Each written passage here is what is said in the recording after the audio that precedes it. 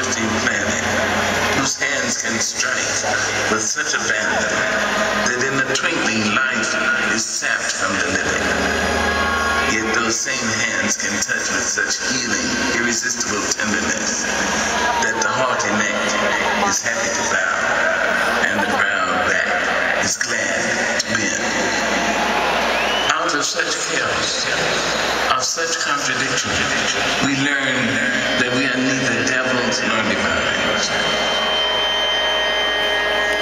come to it, we,